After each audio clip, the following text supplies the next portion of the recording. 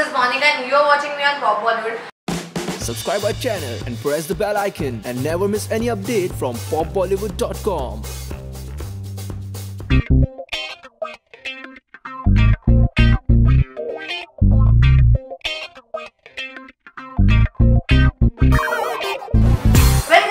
बार Gujarati movie जो आई है, वो काफ़ी सारी ट्रेंड हो रही थी। आज आपने उसका देखा होगा hashtag Pagalpanti Gujarati movie Twitter पर ट्रेंड हो रहा था। लेकिन मैं आपको बता दूँ, उसका ट्रेलर आज ही बाहर आया है, इसीलिए वो ट्रेंड हो रहा था।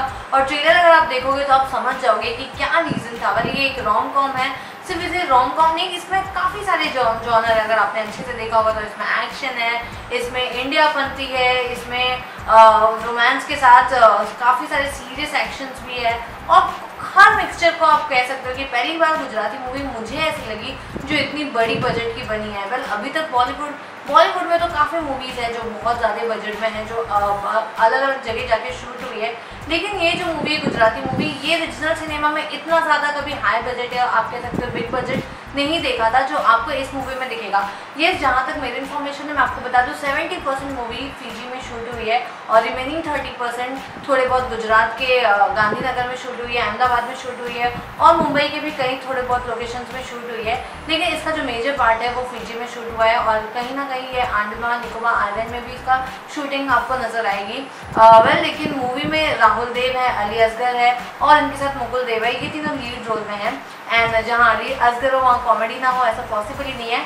कहीं ना कहीं मुझे लगता है कि ये मूवी से वो लोग ने एक मोकाम्बो का जो फ्लेवर आया है, जो कंटेंट लाया है, वो कहीं ना कहीं आप बोल सकते हैं अमरीश पुरी को एक ट्रिब्यूट देगा, ऐसा मुझे लग रहा है। लेकिन ये मूवी का जो मेन मैसेज है, वो मैसेज ये है कि इंडिया का हर जगह आपको दिखेगा। इंडियंस एक ऐसे लोग हैं, जो हर जगह हर कंट्री में बसे हुए हैं, ना कि सिर्फ़ इंडिया में। बिकॉज़ बाकी की सब जगह लोग आते हैं इंडिया घूमने के लिए, लेकिन इंडियन लोग हैं, वो हर जगह जाते हैं और अपने इंडियन पंथी के आप बोल सकते हो, झंडे लहराते हुए आपको नज़र आएँगे। वेल इसका जो मैसेज है, वो काफ़ी अच्छा मैसेज है। लोगों को बहुत पसंद आ रहा है। इसलिए अगर आपने इसके ट्वीट्स देखे होंगे, वो ट्वीट्स इस मूवी के पॉजिटिवनेस के लिए ही ट्रेंड हो रहे हैं। तो गाइज़ ये था इस मूवी का रिएक्शन आप मुझे बताएँ कि आपको ये मूवी किस, कैसी लगी? इसका ट्रेलर अगर आपने अभी तक नहीं देखा है तो जाके देखिए। इसका ट्रेलर आ चुका है टी सीरीज़ के गुजराती चैनल पे आपको इसका ट्रेलर मिलेगा।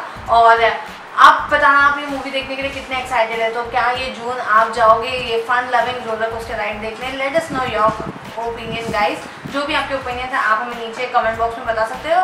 फ़िलहाल के लिए ये मूवी रिलीज़ हो रही है फ़र्स्ट जून को, मैं आपको इसकी रिलीज़ डेट भी बता देती हूँ।